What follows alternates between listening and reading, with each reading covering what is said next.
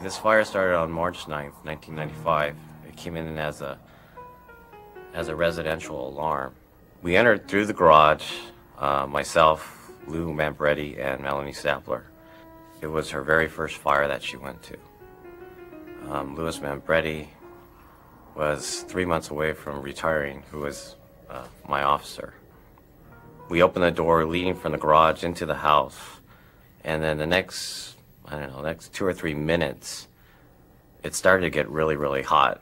Uh, so Louis Mambretti said for us to back out, and that's the last time I talked to him. Uh, as I was moving towards the middle of the garage, I decided to stick my hand up and try to see if there was like a, a door handle that maybe had locked the door.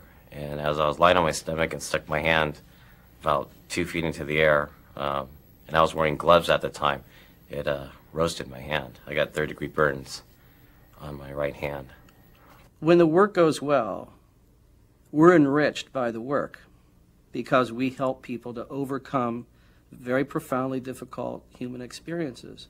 And they recover and they grow and they become human beings in the richest sense again. That's a meaningful thing. If one has an attitude of humility and respect for the victims and maintains that humility and respect for what they've gone through, then you will get back from them more than you ever give them. And that's a real gift that they give back to those who help them. It's easy to lose perspective. It's, it's important to have a sense of humor. It's important to have fun in your life. It's important to counterbalance the intensity of the work you do. That's our silver lining.